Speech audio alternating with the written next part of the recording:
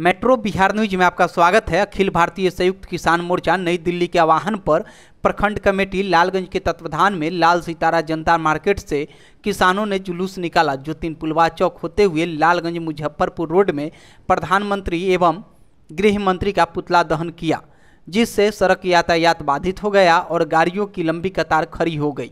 जुलूस के दौरान किसान नेता, कार्यकर्ताओं ने इनकलाब जिंदाबाद, प्रधानमंत्री होश में आओ गृह मंत्री होश में आओ, किसानों से वादा खिलाफी नहीं चलेगी। किसान संगठन से केंद्र सरकार की हुई वार्ता को अविलंब लागू करो। एमएसपी तय करने के लिए कमेटी का गठन अविलंब करो। बिजली बिल अधिनियम 2020-21 अविलंब वापस लो। आंदोलन के दौरान शहीद हुए करीब 700 से अधिक किसानों के परिजनों को मुआवजा दो। देश भर के आंदोलनकारी किसानों पर विभिन्न राज्य सरकार, रेल मंत्रालय द्वारा किए गए मुकदमा अविलंब वापस लो आदि गगनभेदी नारा लगा रहे थे। देखिए क्या बता रहे हैं कार्यकर्ता।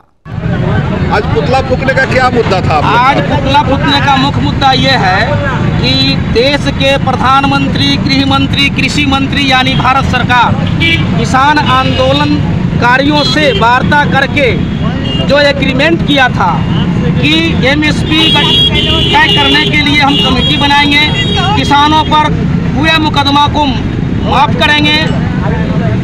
हमारे 700 से अधिक किसान जो आंदोलनकारी थे, शहीद हुए, उनको पर्याप्त मुआवजा देंगे। बिजली बिल 2020 इक्कीस वापस करेंगे। ये इन मांगों पर एग्रीमेंट तो ज़रूर कर लिया, लेकिन ठंडे बस्ते में डाल दिया है, ये नहीं चलेगा। इसको विभिन्न राज्यों को और देश के सभी हाकिम को पत्र लिखकर ये बताए कि इन मुद्दों पर हमारा एग्रीमेंट हो गया है। हम इसको लागू करने का संकल्प लिया है लागू करते हैं। ये नहीं हुआ है इसलिए हम लोग आज सड़क पर हैं। क्या नाम होगा आपका? हमारा नाम राजेंद्र शर्मा ऑल इंडिया कृषक खेत मजदूर संगठन के जिला कमेटी सदस्य हैं वैशाली।